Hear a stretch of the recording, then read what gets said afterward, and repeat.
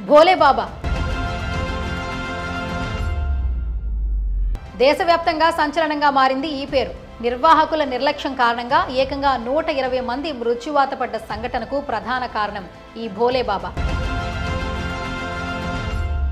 హత్రాస్లో చోటు చేసుకున్న తొక్కిసిలాట ఘటనతో ఆ బాబా పరారీలో ఉన్నాడు. ఈ ఘటన ఇప్పుడు ప్రపంచవ్యాప్తంగా చర్చనీయాంశంగా మారింది. పలు దేశాలు కూడా ఇప్పటికే స్పందించాయి.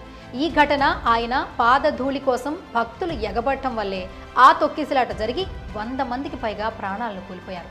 దీంతో ఈ భోలే బాబా ఎవరు ఆయన చరిత్ర ఏంటి అసలు అంత ఫాలోయింగ్ ఎలా వచ్చింది అని అందరూ చర్చించుకోవడం మొదలుపెట్టారు. జైలు జీవితం నుంచి బాబాగా ఆయన జర్నీ ఎలా కొనసాగిందో ఇప్పుడు తెలుసుకుందాం.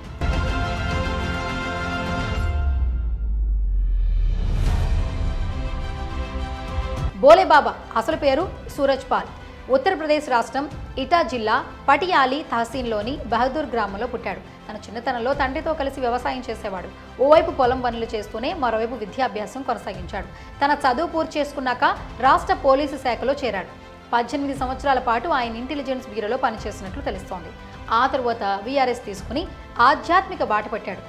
పోలీసు శాఖలో పనిచేసే సమయంలోనే ఆయనపై లైంగిక వేధింపుల కేసులో నమోదైనట్లు అధికారులు నిర్ధారించారు. ఆ కేసుల్లో పంతొమ్మిది వందల తొంభై ఏడులో అరెస్టై కొన్నాళ్ళు జైలు శిక్ష కూడా అనుభవించాడు. జైలు నుంచి బయటకు వచ్చిన తర్వాత తన పేరుని నారాయణ్ సాకార్ విశ్వహరి బాబాగా మార్చుకున్నాడు. తన పూర్వీకుల గ్రామంలో ఒక ఆశ్రమాన్ని తెరిచి క్రమంగా జనాలను ఆకర్షించడం మొదలుపెట్టాడు. అనతి కాలంలోనే బాబాగా పాపులారిటీ వచ్చేయడంతో సత్సంగ్ పేరుతో ఆధ్యాత్మిక కార్యక్రమాలు నిర్వహించడం మొదలెట్టాడు. అలీగఢ్తో పాటు హత్రాస్లో కూడా ప్రతి మంగళవారం సత్సంగ్ నిర్వహించేవాడు. ఇందుకు వేల సంఖ్యలో లక్షల్లో భక్తులు వచ్చేవారు. ఇటీవల హత్రాస్లో జరిగిన సంఘటనకు సరిగ్గా వారం రోజుల ముందు మెయిన్పూర్ జిల్లాలో కూడా ఇలాంటి కార్యక్రమాన్ని నిర్వహించాడు. కరోనా మహమ్మారి టైంలో రెండు వేల ఇరవై రెండులో భోలేబాబా సమావేశాలకు కేవలం యాభై మందిని మాత్రమే హాజరయ్యేలా ప్రభుత్వం అనుమతిస్తే ఏకంగా యాభై వేల మంది హాజరు కావడంతో అప్పట్లోనే పెద్ద వివాదానికి దారితీసింది. సూరజ్ పాల్ అలియాస్ భోలేబాబాకు ముగ్గురు సోదరులు. అందులో ఒకరు పెద్దవాడు సూరజ్ పాల్ రెండో సోదరుడు మరణించగా మూడో సోదరుడు గ్రామ పంచాయతీ సర్పంచ్గా పనిచేస్తున్నాడు. బోలేబాబా చాలా అరుదుగా తన ఊరు వెళ్తుంటాడు. సర్కార్ కొలువు వదిలేసి తాను ఇక్కడ దాకా ఎలా ఎదిగాడో తను తెలియదని సత్సంగంలో అనేక మార్పులు చెప్పుకుంటాడు. రెండు రోజుల క్రితం భోలేబాబా హత్రాస్ జిల్లాలోని పుల్రయి గ్రామంలో ఓ సత్సంగ్ కార్యక్రమం నిర్వహించాడు. ఇందుకు ఎనభై వేల మందికి అనుమతిచ్చారు. కానీ రెండు పాయింట్ ఐదు లక్షల మంది వచ్చారు.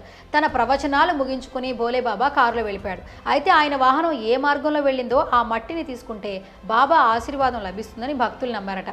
ఆ నమ్మకంతో అందరూ ఒక్కసారిగా ఎగబడ్డారు. తొక్కేసిలాట జరిగింది. పెను విషాదమే చోటు చేసుకుంది.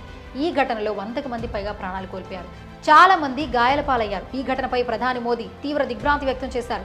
మరోవైపు ఈ కార్యక్రమాన్ని మానవ్ మంగళ్ మిలన్ పేరుతో నిర్వహించారు. మానవ్ మంగళ్ మిలన్ సద్భావన సగామం సమతి అనే పేరుతో మొత్తం ఆరుగురు పేర్లున్నాయి. వీరితో పాటు బోలేబాబా కూడా పరారయ్యాడు. ప్రస్తుతం వారందరి మొబైల్ ఫోన్ స్విచ్ ఆఫ్లో ఉన్నాయి. స్థానిక పోలీసులు కాంటాక్ట్ చేస్తున్నారు. వీరి కోసం యూపీ పోలీసులు ముమ్మరంగా గాలిస్తున్నారు. మరోవైపు ఇంతటి మానహోమానికి కారణమైన సత్సంగ్ కార్యక్రమం నిర్వహించిన కమిటీపై బోలే బాబాపై పలు సెక్షన్ల కింద కేసు నమోదు చేశారు.